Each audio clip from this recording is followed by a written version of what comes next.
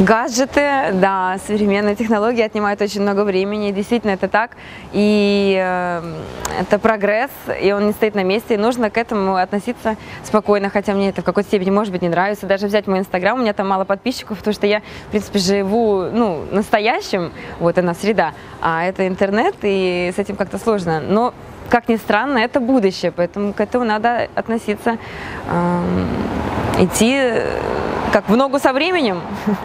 Поэтому отнимает очень много времени. Я постоянно на телефоне, просто постоянно и днем, и ночью. Вот. И, в принципе, когда мы встречаемся с друзьями, сейчас достаточно много так, часто так бывает, когда все встречаются, а сами в телефонах. Если виртуальная реальность заменит реальную, это страшно, потому что если мы будем жить... Вообще очень много снято фильмов на эту тематику.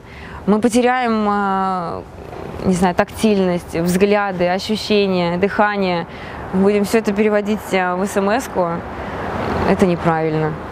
Мне так кажется. Это ну, потеряет какой-то смысл в непосредственной жизни. Ты будешь там жить, а не здесь.